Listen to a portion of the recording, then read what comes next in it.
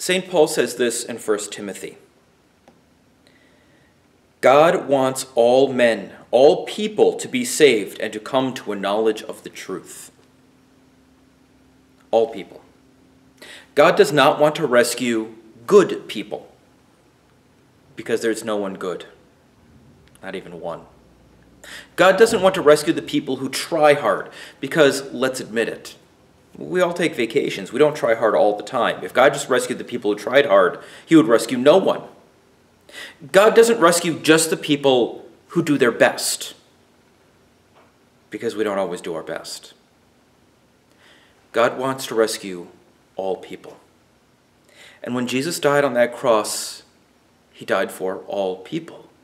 And you know what that means? That means He died for you. No matter how messed up you are, no matter how bad you are, no matter how much you've failed, no matter how broken you are. And He wants to save you. And He has.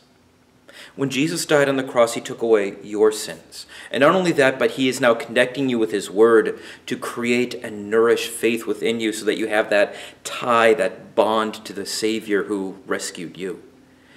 So, yeah, Jesus wants all people to be rescued, and that includes you.